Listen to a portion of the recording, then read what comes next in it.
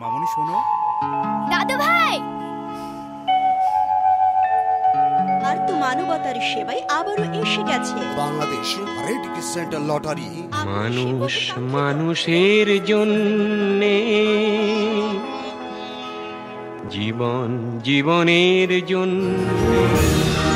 বাবা ওই টিচার নাম্বারটি মিলেছে।